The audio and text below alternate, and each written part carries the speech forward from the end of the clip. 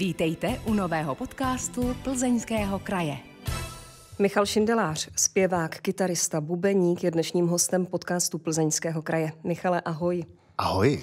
A Helena Kapicová přeje příjemný poslech. Posloucháte podcast Plzeňského kraje. Asi se tomu nelze vyhnout, my se tomu ani vlastně vyhnout nechceme. Ty jsi synem Jiřího dětka Šindeláře z legendární skupiny Katapult. Tvoje maminka Lenka Šindelářová je herečka, my všichni známe jako Calamity Jane z Chunder Country Show Ivana Mládka. Prosím tě, řekni mi, jaké to bylo mít za otce dětka z Katapultu a za matku Calamity Jane? Tak eh, rozhodně bylo to nevšední dětství, jenom jsem si nedokázal uvědomit, jak moc je to jiný oproti jiným rodinám, protože člověk neměl to přímé srovnání. To až v pozdějším věku, když jsem začal chodit k přítelkyním do rodin, tak jsem zjistil, že ty rodiny fungují jinak. Ale většina lidí si myslí, že jsem od malička měl doma pořád muziku. Mm-hmm. A musím říct, že doma nebyla nikdy muzika protože táta i máma měli rádi klid. Já jsem viděl tátu cvičit eh, na baskytaru asi jenom jednou nebo dvakrát v životě doma. A veškerá hudba, kterou já jsem slyšel, tak eh, to bylo když neměli hlídání a museli mě vzít sebou na koncert. Ty říká, že u vás bylo ticho, ale já vím, že svoje první bubny si dostal od Víti Vávry, to ti byly tři roky a taky vím, že jste si měli dobrý sousedy, protože ty jsi do těch bubnů bušil o 106 od no. rána do večera, tak asi úplně ticho tam taky nebylo, ty ne. jsi o to postaral. No, eh, ze strany rodičů bylo ticho, z mojí strany rozhodně ne. Já to do dneška nechápu, protože v Praze na Vinohradech, eh, v klasickém baráku, jsem do toho mlátil několik hodin denně, fakt strašně moc. A nikdo nikdy si nestěžoval. To si nedokážu představit, hmm. že v dnešní době by se něco takového stalo. A jak to bylo? Vítě Vávra šel kolem a řekl, tady mám jedny eh, bicí. Tak... přesně tak, přesně tak to bylo. My jsme bydleli v přízemí, Vítě Vávra uh, byl vysoký chlap, měl skoro dva metry. Šel kolem, šel kolem eh, teď jenom v tom okně byla ta jeho hlava a říká, dětku, nechceš bubny pro malýho? A táta, no tak, tak jo. A on nevím, kde je měl, jestli je měl v autě sebou nebo... A rovnou je podal do toho okna a od té doby se mi změnil život. Já taky předpokládám, že si navštěvoval Lidušku. Na co všechno si hrál, kromě teda těch bicích? No tak samozřejmě dřív eh, nebylo možné hrát eh, na nic jiného tak malém věku jenom na výběr byly housle nebo klavír. Housle mě nějak nelákaly, tak jsem si vybral klavír a to byla možná trošku chyba, škoda, protože jsem schytal uh, takovou přísnou paní učitelku, která mě mlátila, řvala na mě a já jsem pak uh, od té doby měl vždycky tiky, když jsem šel kolem klavíru. Tak, tak, to asi taky, ale, ale uh, že ta láska k té hudbě úplně jí ve mně nepovzbuzoval, abych řekl slušně. Aha, aha. Michale, jakou školu jsi ještě vlastně vystudoval? No, vystudoval, to jsou silné slova. My jsme se s rodičema dost často střídali, uh, teda stěhovali, takže já jsem vystřídal několik škol v Praze, několik škol tady v Plzni a pak jsem strávil nejkrásnější roky mého života v Plzni na Mikulášském náměstí na gymnáziu, kam se strašně rád vracím, protože přeci jenom eh, to období puberty, prvních lásek, eh, pr- prvních eh, špatných známek, pr- prvních. A rád se tam vracím. Říkáš první lásky, lásky nežárlily na tvoje hudební nástroje, holky? A to až ty později, s kterýma jsem opravdu byl. to, to bylo vždycky, no. Bohužel. Hmm. Ale už jsem se s tím naučil žít, takže i, i pracovat. Michale, konzervatoř tě nelákala? Um, mě nelákala, protože v té době měla takovou zvláštní pověst, že je to víc eh, takový technický přístup, eh, než ten živelný, který já jsem v té pubertě, kdy jsem neměl rozum a chtěl jsem jenom do toho mlátit a řezat a hrát, tak, tak to mě samozřejmě nelákalo. Teď s odstupem času, co bych za to dal. A obzvlášť v dnešní době, když ty školy se změnily, přístup těch profesorů je úplně jiný a zaplať pámu za to, že ty děti to baví. Pokud se nepletu a dobře počítám, tak je to už 13 let, co tvůj tatínek zemřel. Jak na něj vzpomínáš, jaký byl? No, ono to strašně letí. Já se vždycky vyděsím, když si uh, uvědomím, kolik je to let. Ale já mám pocit, že táta je tady pořád nějak s náma. Díky té muzice, díky, díky té radosti, který, uh, kterou rozdával fanouškům protože není koncert, aby za mnou nepřišel nějaký jeho fanoušek, nespomínal na něj strašně hezky. Takže díky tomu mi táta, eh, teď to bude znít divně, tolik nechybí. Hmm. Protože ho mám možná v srdci blíž než kdykoliv jindy. Ty chvíli předtím, než jsi vlastně přišel k nám do, na vysílání, tak jsem si poslouchala písničku, kterou ty si vlastně tátovi složil. Eh, já jsem měla z toho teda husinu. Je krásná ta písnička.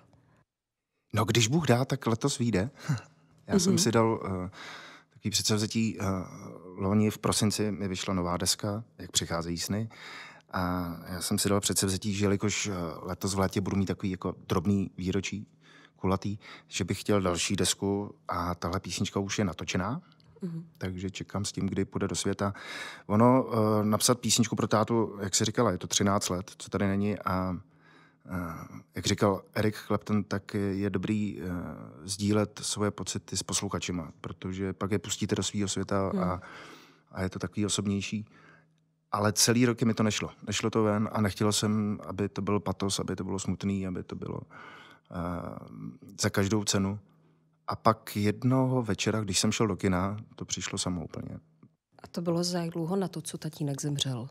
To bylo před rokem, rokem a půl teď. Aha, takže to je v podstatě čerstvá věc. Čerstvá Jak se jmenuje ta písnička? Kdo má se teď líp?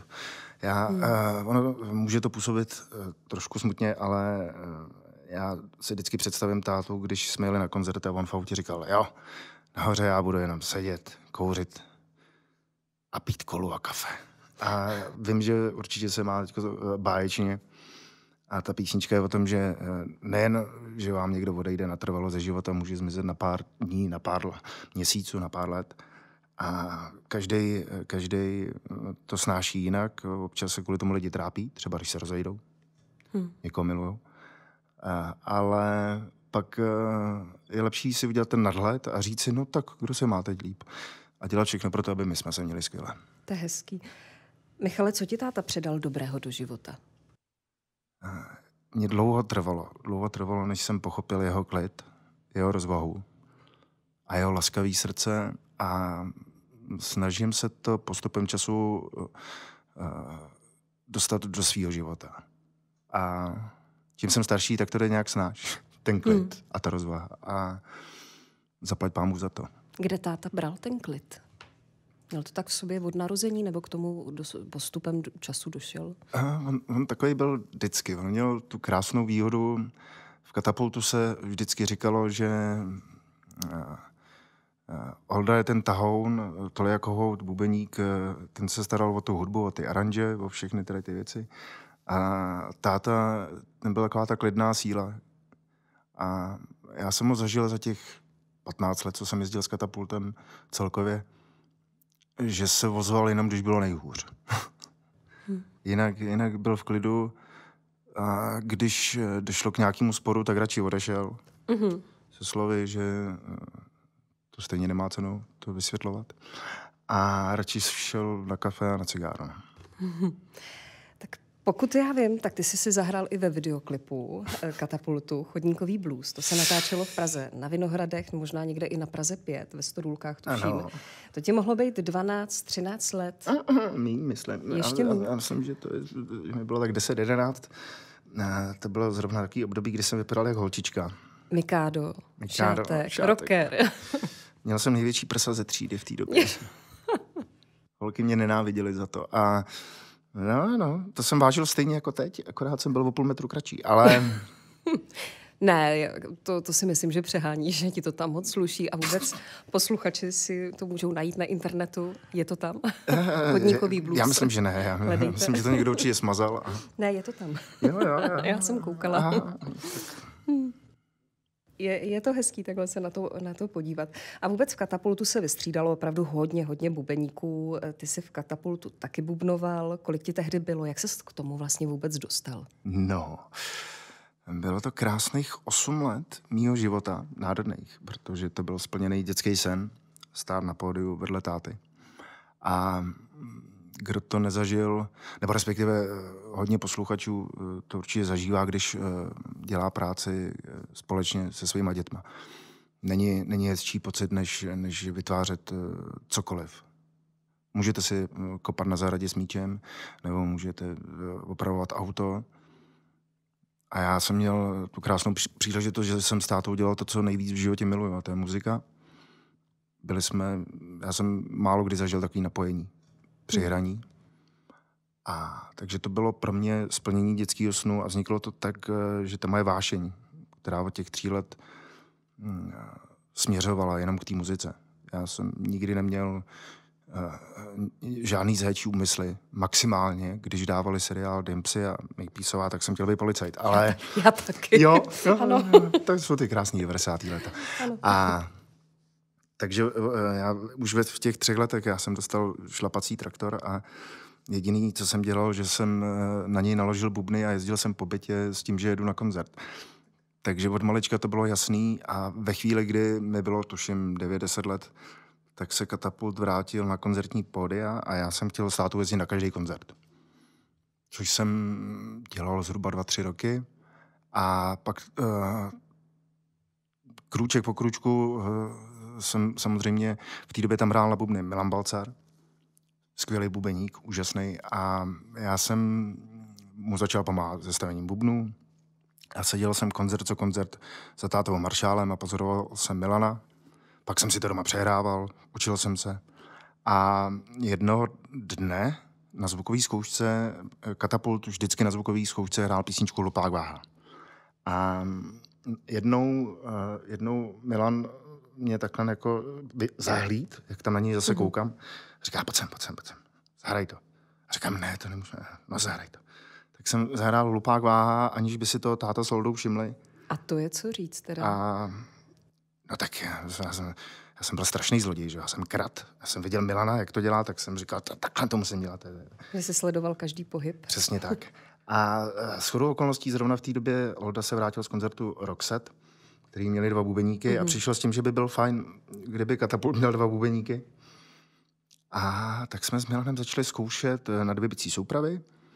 A bylo to ještě výjimečný v tom, že jsme měli je úplně stejně postavený a, a naučili jsme se to úplně stejně, takže to bylo, jak kdybyste se koukali v podstatě na jednou bubeníka. A to byly nejkrásnější časy a e, doba, kdy jsem se to o bubnování dozvěděl opravdu strašně moc. Takže ty základy od Milana Balcara. Hmm. A dostal si někdy od někoho důležitou bubenickou radu do života? To jsem dostal, až potom později přišel zpátky Tolia Kohout. Povídej. a Hmm. Tohle jako Holt uh, uh, byl... Uh, to bylo asi ze života, spíš byl, než... Byl, byl, byl opravdová legenda. V těch bicích. Uh, a mm, samozřejmě nejen, že mě uh, přivedl k Monty Pythonu a britskému humoru mm-hmm. celkově, ale ten pohled na ten rockerský život, uh, on vůbec neřešil bubny. Neřešil jako takovýhle buben, takový, nejzásadnější rada dal mi tři do života, publikovatelná jenom jedna tady v podcastu. A to je, měj jaký chceš bubny, ale kup si tu nejlepší a nejdražší stoličku. A už asi vím, kam míříš. A musím říct, že moje pozadí a celkově i moje záda hmm. za těch uh, strašně moc let, co to dělám, tak uh, jsou za tu radu strašně vděční. Hmm. Hmm, hmm. Michale, předpokládám, že v katapultu vládla opravdu pevná ruka Oldy Říhy. Eh, to asi po koncertu moc muzikantských mejdanů jsi jako neužil, typla bych. No paradoxně s Oldou jsem si užil docela dost legrace, když tam nebyl táta. Ale mm-hmm. když tam byl táta, tak samozřejmě... Počkej, tak vládla to... pevná ruka táty, ne Oldy? Ano, ano, ano. Já takhle. I když, když jsem byl úplně malý, a, a to jsem ještě jezdil jenom jako technik, tak Oni byli teda úžasní, musím říct, že eh, tam fungovala hláška uši, což znamenalo, že když se chtěli o něčem bavit, tak já jsem si musel zacpat uši. Jo, v těch, Počkej, de... tak řekli uši a ty jo, už zvěděl, co jo, to znamená. No, v devíti, v deseti letech prostě řekli uši, já jsem si je zacpal. Mě pak chvilku mluvili prostě nebo řešili, bůh co. Pak mi kinuli a já jsem věděl, že můžu, tak pohodě. Takže a poslouchal jsi, nebo opravdu jsi si je zacpal? Pak jsem si je zacpal. Jako. Já jsem si nechtěl kazit iluze. Do dneška, dneška nechci některé věci vědět, ale Táta, táta byl, eh, no to on celkově ten režim katapultu byl jako, jako striktní, že eh, vše, všechno mělo svůj čas a místo, takže my jsme přijížděli dvě hodiny před koncertem, zvuková zkouška, mm-hmm. večeře, dvě, dvě a půl hodiny koncert a pak eh, spát. do auta a spát. A díky tomu samozřejmě měl jsem tam skvělou řadu techniků, takže opravdu se skoro odložili nástroje a už se jelo domů. Výjimečně jsme někde přespávali na šňůře, já to si pamatuju, když mi bylo 16 let. Jsme byli na mojí první větší šňůře s kapelou Olympik na Slovensku. A, hned druhý večer uh, kluci uh, vytáhli uh, do baru Olympik, naše technika a já jsem chtěl jít s nima. Jsem byl nějaký holky a říkám, je to, tak to je, to je ten rokový život, který mi vždycky všichni odpírali. Za chvilku se objevil v, v tom hotelovém baru táta v pyžamu a řekl spát. Tak jsem šel spát, no. A bylo po holkách. A bylo, bylo po všem. Se ukázalo, že ty holky nebyly úplně... no, to je... Michale, já o tobě vím, že ty nemáš trému. Ty prostě před vystoupením nemáš trému. A můžeš mi říct, jak se to dělá? Já, já, já s tím bojuju celý život. Mm. To... No to kdybych věděl. No. Já, eh, já jsem já mám pocit, kdybych se narodil jenom, jenom z toho důvodu, abych tady eh, dělal kravál na tom světě. A takže kdykoliv můžu dělat kravál, tak jsem nejšťastnější člověk na planetě. A nevím, jestli je to způsob trémy, ale já se vždycky strašně těším. Mm-hmm. Takže je tam to těšení. Když, když, když jsou ty koncerty, kdy se třeba čeká tři, tři čtyři, pět hodin, než, než se jde na to, tak je to taky jako pro mě horší, než, než když je to šup a jde se na to a děláme kravál a je to skvělý. Ale trému jsem zažil jednou. Zažil jsem ji na dovolený. Já jsem měl takový jako eh, sebezlepšovací kurz, mm-hmm. kdy jsem eh, říkal, že budu překračovat eh, svoje hranice a stíny. A díky tomu jsem se ocit na karaoke party. Mm-hmm. A tam poprvé se v životě jsem měl trému, protože, a to jsem si uvědomil zpětně, protože vlastně nikdo nevěděl, když jdu v Čechách hrát, tak uh, ať už jsem hrál s Katapultem, ať už jsem hrál s ben, nebo ať už hraju s Benjo Bandem nebo se svojí kapelou, tak všichni vždycky nějak tuší, co se bude dít. Tady vlastně nikdo nevěděl a tam jsem měl poprvé strašnou trému. A omlouvám se všem, kterým jsem nevěřil, co to tréma je. Je to strašný. Ty jsi tam byl úplně sám úplně a rozhodl sám. se, tak a jdu do toho a teď zaspívám jo. v klubu. Jo, přesně tak. Já jsem, tohle jsem nikdy nedělal, já jsem, uh, já když nemusím, tak jsem někde zavřený sám. Mm-hmm. Uh, jsem takový jako samotář velký. A mm, takže mezi lidi mě málo kdo dostane. Nicméně ta dovolená byla o tom dostat se mezi lidi a mm-hmm. právě být, uh, přestat být takový, ne, začít být spontánní, to je, to je ta myšlenka. Tak jsem chtěl být spontánní a uh, úplně mě to vyděsilo, že jsem si zase na pár dal pokoj teď. Michale, proč jsi vlastně v katapultu skončil? Co se tam stalo? No, to je, to je častá otázka. Já se obávám, že za těch, kolik je to? 18 let? 19 let? 18, 19 let? Že jsem po každý odpovídal trošku jinak a ono je to logický, protože člověk, jak dospívá, tak eh, mu dochází různé věci. Má na to jiný pohled. Má na to jiný pohled. Hmm. Dneska, když tady sedíme, hmm. tak bych řekl, že eh, to byla to byla souhra několika okolností. Jedna z nich bylo to, že mě v té době bylo 21, 22 a byl jsem jako nejnamachrovanější člověk na planetě, podle mě v ten okamžik, což byl krásný okamžik. To, jako, to bych přál každému zažít. Hmm. Sice pak následuje ten pát, jo, ale ten okamžik nahoře je vždycky skvělý. A byl jsem plný energie a plný chuti eh, do života a do dělání muziky a to v katapultu tenkrát nebylo. Táta to viděl a říkal, hele, no tak ty si tady drnkáš nějaký své písničky, tak si je zkus natočit. Tak jsem si je zkusil natočit. Pak jsme spolu s tátou vystoupili v jednom televizním pořadu. A když jsem šel... Zlatíčka? Zlatíčka Byly to zlatíčka? Ano. Hořely, padaly hvězdy písnička? Ano. A tato všechno, tato všechno tato odstartovala a ukončila. Mm-hmm. A pak samozřejmě vylítly nějaké emoce hmm. ze všech stran. A samozřejmě v životě se neděje nikdy nic jen tak náhodou a, a nic není tak špatný, jak se hmm. zdá na první pohled. Teď zpětně vidím, že to vlastně dává velký smysl v mém životě. Všechno, co se stalo, mrzí mě eh, trošičku, protože samozřejmě nedá se litovat ničeho, ale mrzí mě, že jsem si ještě státu nezahrál. Hmm. Host podcastu Plzeňského kraje je zpěvák, kytarista, bubeník Michal Šindelář. Teď lehce od katapultu odskočíme. Ty jsi hrál ve více kapelách. Mm-hmm. Já, já jsem vždycky uznával, v tom jsme se taky s Holdou teda rozcházeli, já jsem uznával to, že když se člověk potkává s různýma muzikantama, s různou jejich energií, přístupem, že ho to posouvá jako člověka a jako muzikanta dál.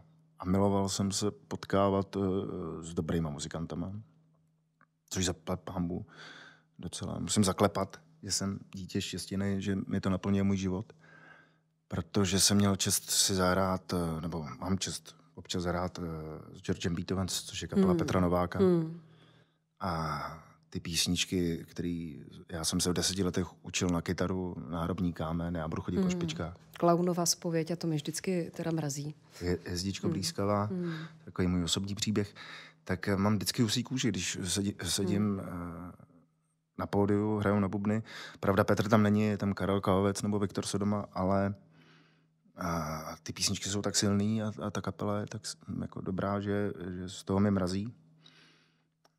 Notabene eh, Viktor Sodoma byl v kapele Franty Čecha, když ten byl oldaří, a takže já jsem si zahrál s Oldou Říhou. Teď Propletenec. S Viktorem Sodomou je to skvělý.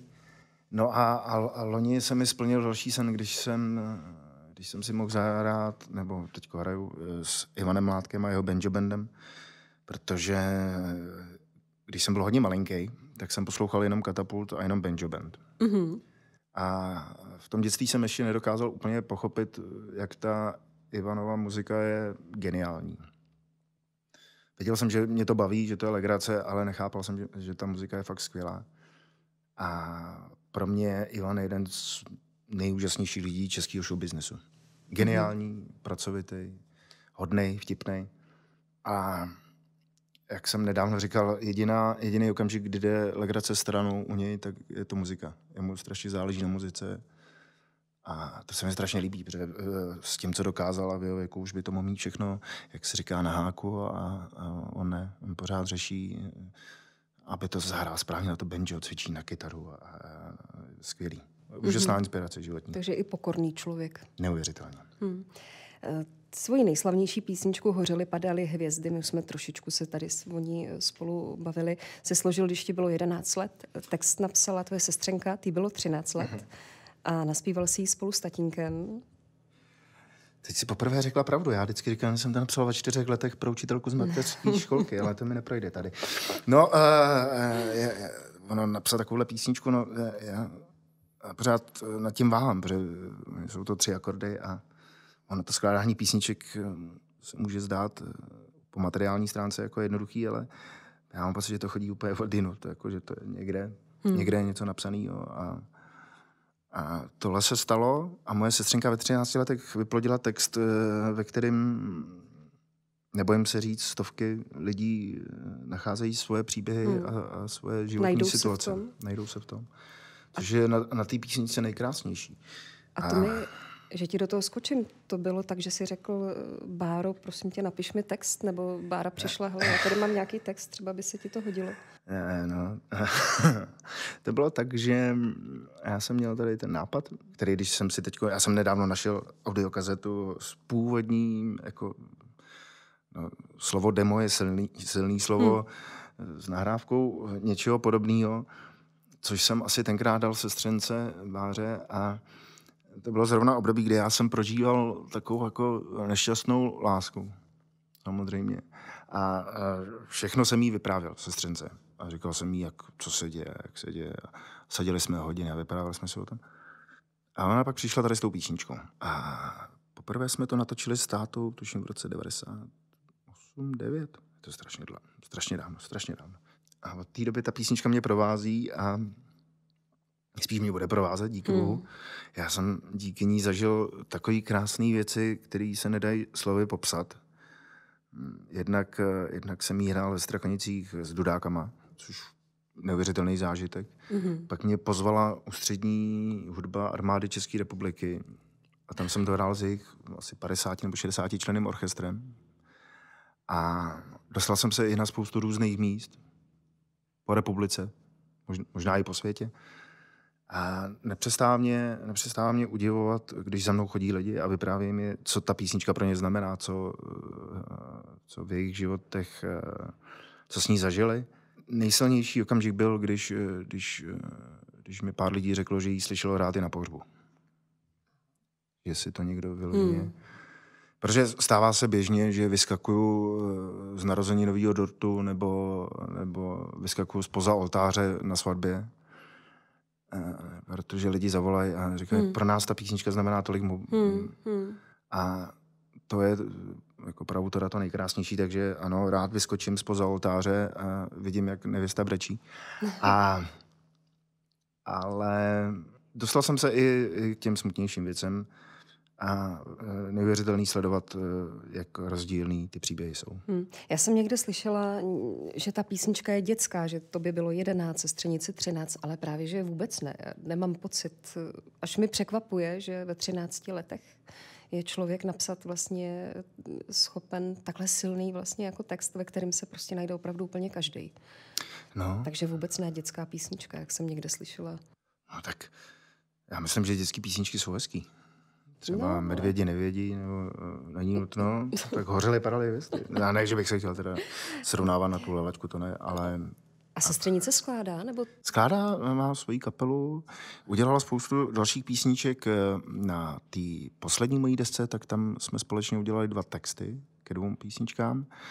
A tak nějak se snažíme spolupracovat, akorát eh, každý procházíme teď jiným období, má děti, rodinu, a už není ten čas, jak jsem říkal právě, že bychom si sedli na několik hodin a vyprávěli si, co se nám děje v životě, aby z toho pak mohla vzniknout ta písnička. Ta písnička se objevila i v jednom známém českém filmu Bába ah, z ledu. Ano, ano.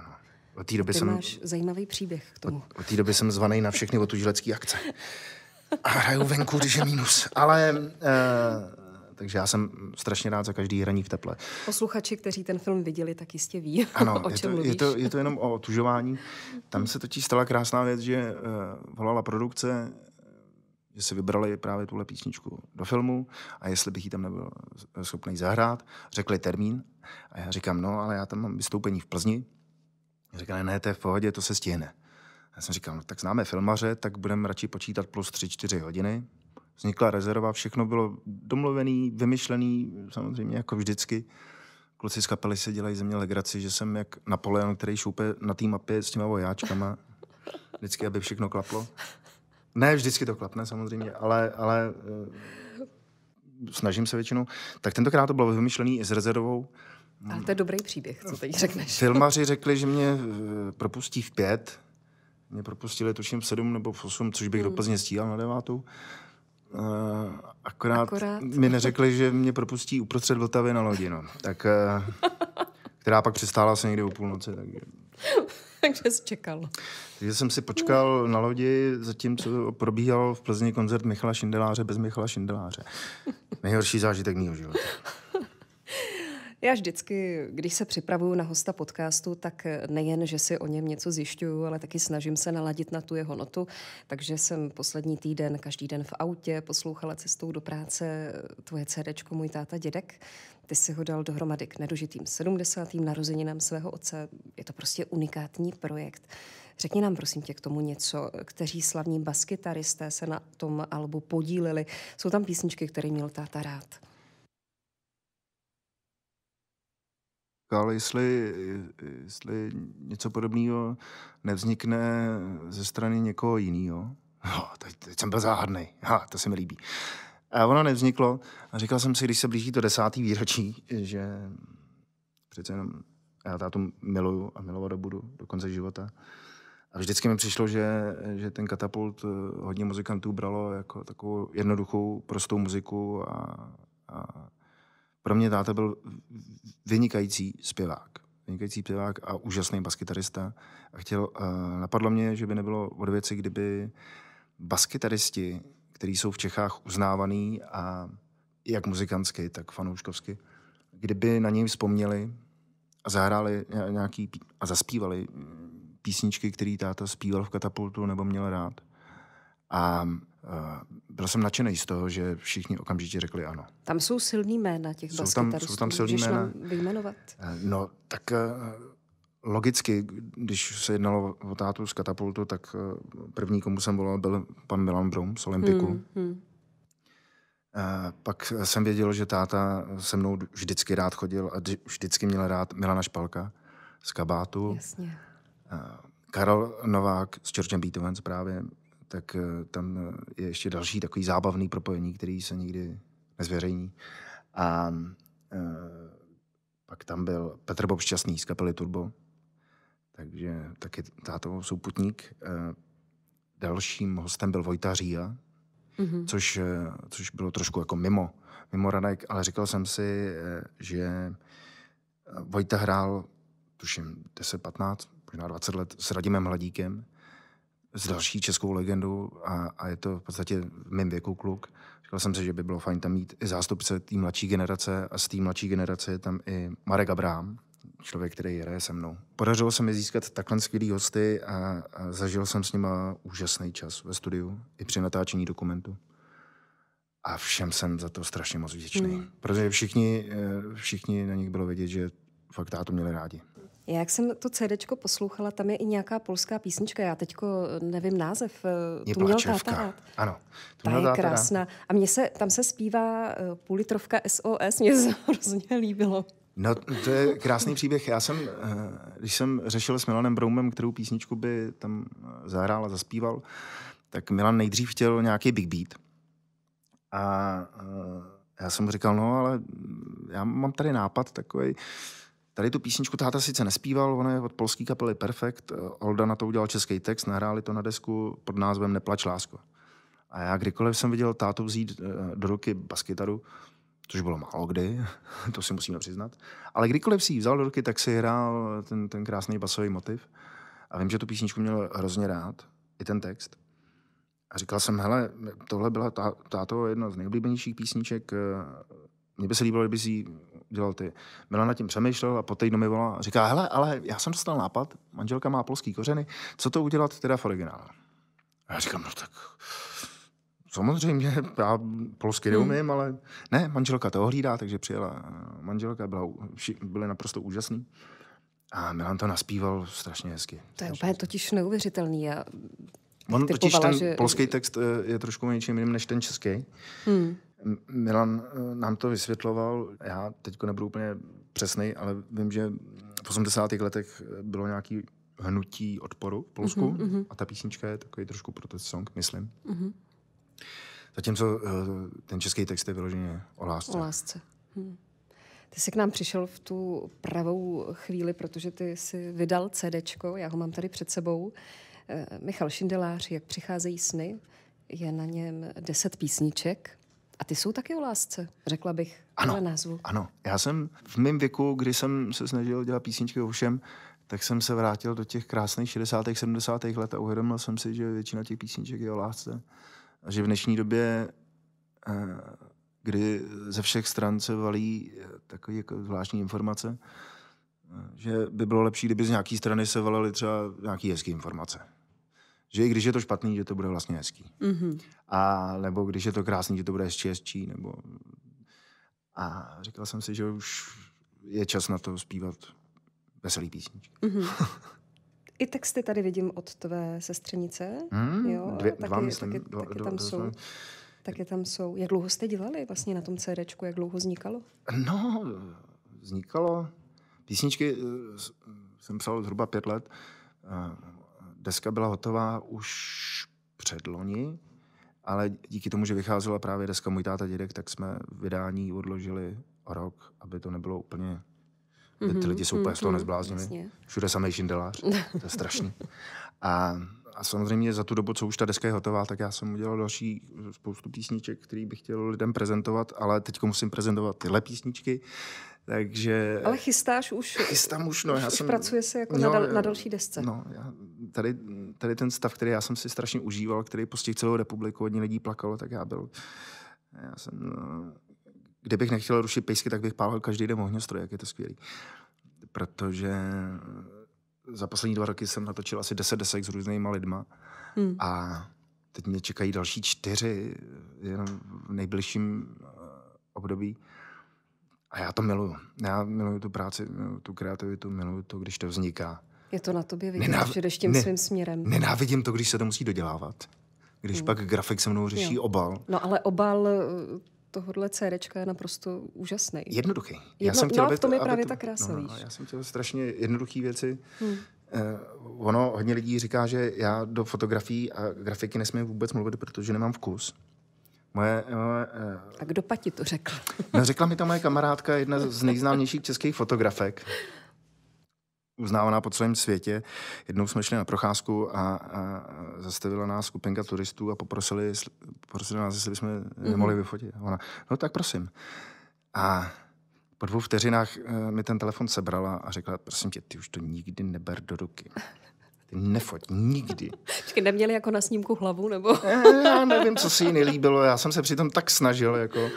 A a říkal jsem si, že to je vlastně vtipný, protože ta skupinka, nějaký uh, lidi z Moravy, hmm. vůbec netušili, kdo jim tu fotku udělal. Že ta no. fotka má cenu několik desítek tisíc, protože ta kamarádka je opravdu jako hodně, hodně významná česká fotografka. Hmm. Světová fotografka. Michale, kdo je vlastně Michal Šindelář? Jaký jsi? No, no, na to je dobrý vždycky se ptát bývalý přítelkyně, ale... Co by nám řekla? no, co by vám řekla? Počkej, bych jí dovolil. Ne, eh, já se snažím být hodnej, slušný, klidný a šťastný. A občas... Že po vzoru táty? Snažím se. Hmm. Občas nejsem moc společenský, to táta byl. Nevím, jak to mm-hmm. dělal. On to dokázal. Ačkoliv já jsem ho zažil tisíckrát v autě, kdy pak jako... Uh, no, to je jedno v autě prostě chtěl mít klid a taky občas jako... Já jsem zažil, když jsme šli na koncert ACDC na Strahov a šli jsme normálně mezi lidi a táta po půl hodině, kdy na něj všichni volali a zdar, dětku, pojď se na dětku, pivo, dětku, dětku. Tak táta po půl hodině a už dost, já jdu pryč. já se vrátím na koncert. A říkám, hele, to se nemůžeš vrátit na koncert, teď, jako když odejdeš tady odtaď jako ven, tak už tě sem nikdo nepustí. He, já, já jdu pryč. Po koncertě jsem ho nemohl najít a pak jsem zjistil, že můj táta byl v tomhle geniální. Jako, to neznám nikoho jiného, kdo by to uměl. Táta, to jsem zjistil až, až po koncertě několik, tak táta nasedl do auta a na Strahově zajel s tím autem do zákulisí. Zaparkoval před pódiem. Tam ho pustili. Já nevím, jak to udělal. Uh, chodil si do cateringu pro kafe a říkal, že hlasitost, hlasitost té muziky si dělal stažením okýnka v autě.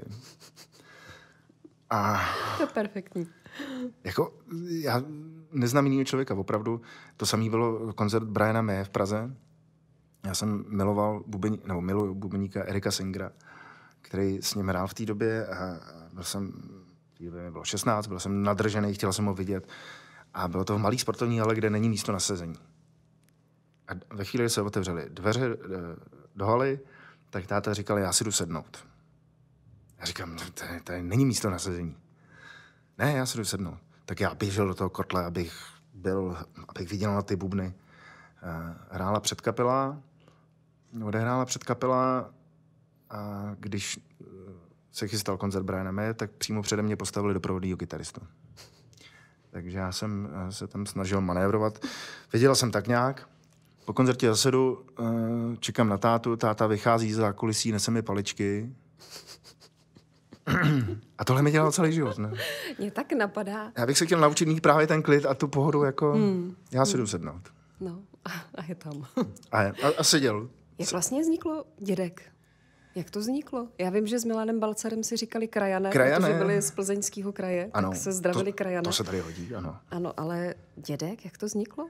Já jsem to nevěděl až do, do, do chvíle, kdy jsme točili dokument, táta dědek.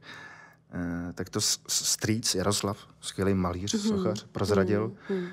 že mu tak začali říkat i jeho kamarádky v, pu- no, v dětství, v pubertě, když on jim říkal bábo, sem. Jo, takhle. tak oni jim říkali dětku, nebo A, a prej mu to zůstalo.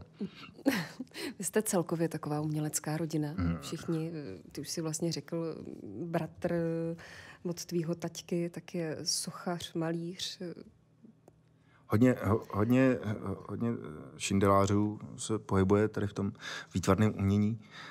Já je zdravím, všechny A ty bratrance. maluješ? Ty maluješ? Nebo Ne, tebe to moje, moje, sestra, ne, moje sestra to dělá tohle. Mě, mě to úplně minulo, já to mám jako s focením, prostě mě to všichni zakazujou a říkají radši do něčeho mlátě a dělají nějaký zvuky, ale, ale prosím tě, nesnaž se řešit cokoliv vizuálního. A ty máš tři sestry? Nebo Já mám čtyři? dvě, já mám dvě, dvě. Dvě sestry. Dvě. Mm-hmm. Jedno vlastní, jedno nevlastní.